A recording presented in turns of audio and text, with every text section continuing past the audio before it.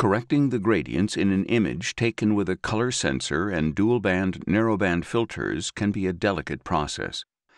As we saw in the previous video, H alpha nebulas aren't just in the red channel, they're also present in the green and blue channels.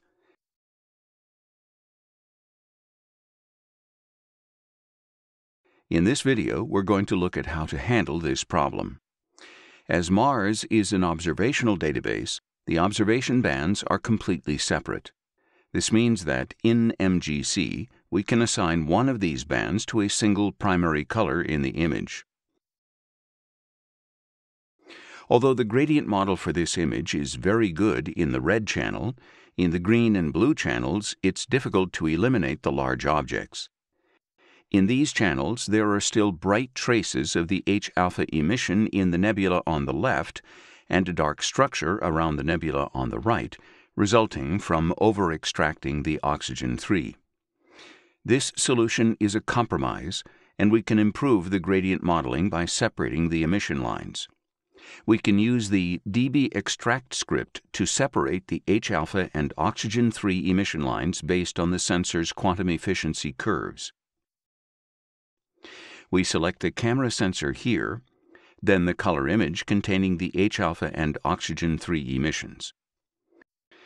The challenge when we use DBXtract is that the sensor and filter specifications are not exact, and to separate the emission lines correctly, we need a custom formula.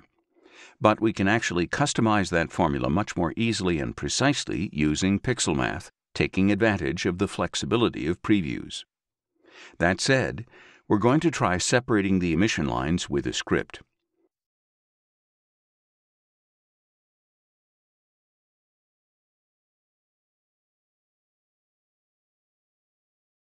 The script generates two images, one with the oxygen 3 and one with the H alpha. We can use these two images to recompose a color image. We put the H alpha in the red channel and the oxygen 3 in the green and blue channels. We stretch with STF. And now the H alpha is much redder than it was in the original image.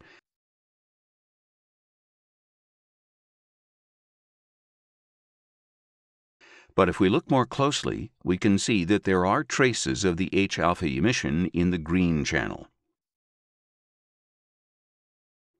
Although we can try to adjust the factors manually in DBXtract, it's much easier to find them using PixelMath on a preview. Let's try this method now.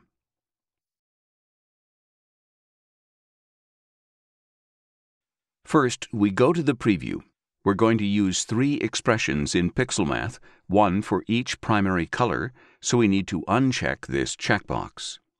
The red channel is simply the original image. For the green channel, we're going to subtract the red channel multiplied by a scale factor. So we input the original image minus the red channel of the original image, which is channel 0. Then we subtract the red channel median so that the sky background brightness isn't altered. And we multiply all of this by a factor which will usually be quite small. And we do the same in the blue channel. Now we need to find the correct scale factor for each of the two channels. The good thing about this method is that if we use the same camera and the same filters, the scale factors will always be the same. We can therefore save a process icon for separating the emissions in all the images we take with the same color camera. To find the scale factors, we can look at the green and blue channels separately and adjust the values until the H-alpha structures disappear. Let's start with a high value because it's easier to overcorrect and then make adjustments until the overcorrection disappears. Let's try 0.5. Here, we're clearly inverting the whole nebula.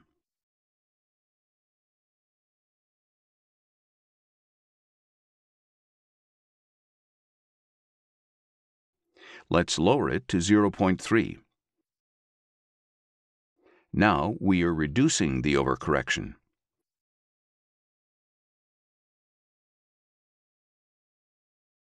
With 0.2, there's hardly any overcorrection. Let's lower it a bit more gradually now.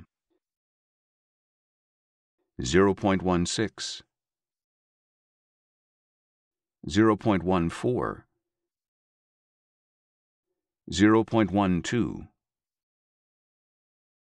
With 0.1, the overcorrection has disappeared, and the H-alpha subtraction is perfect.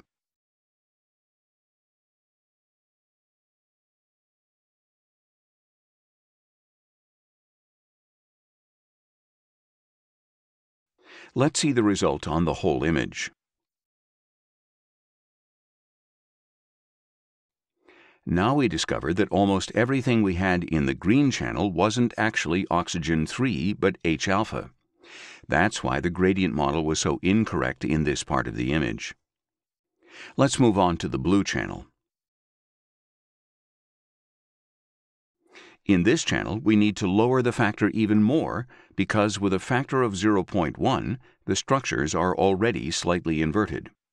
Let's try 0.08. Now 0.06. Probably 0.07. 0.07 for the blue channel and 0.01 for the green channel are the right ones for our camera and filter combination. They're quite different from the ones suggested by the manufacturer's quantum efficiency curves. If we save this icon, we can use it for every image taken with this equipment without having to change a thing. All we would need to do is make slight adjustments to the scale factors for images taking in anomalous atmospheric conditions.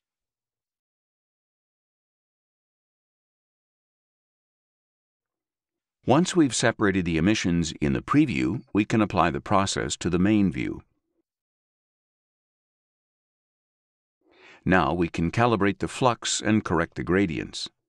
We enable narrowband filters mode and input the correct bandwidths.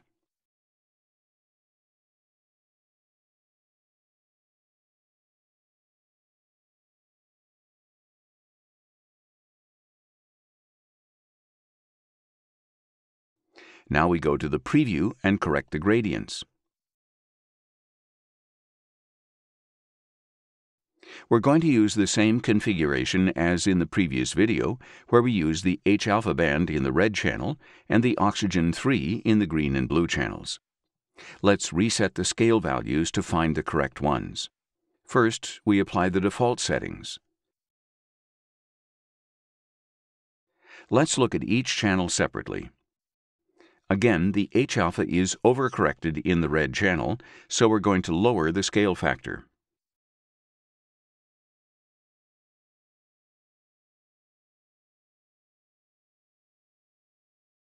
Here, the nebulas are starting to look bright, so let's increase it a little. Now let's move on to the oxygen 3 channels, which are the more delicate ones. A scale factor of 1 has worked very well, but there is a slight overcorrection in the nebula on the right, so let's lower the scale factor a little.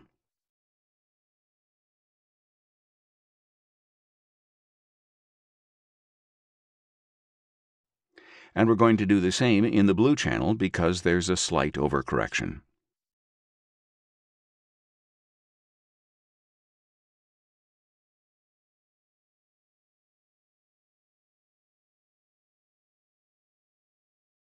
Finally, we correct the gradients and display the RGB image. Now that we've separated the emissions, MGC has corrected the vignetting perfectly without affecting either of the nebulas.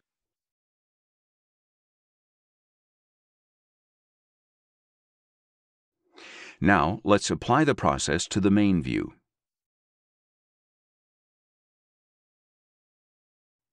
Finally, we're going to calibrate the color using SPCC.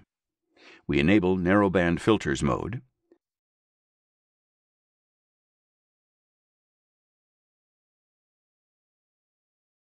We're going to use this corner of the image as the background reference.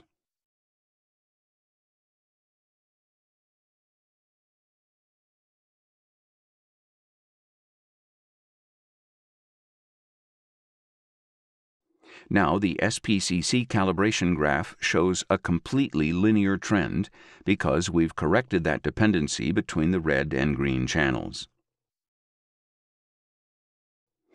Now we link the RGB channels and stretch, and here's the finished image with the separated emissions, the gradient correction, and the color calibration.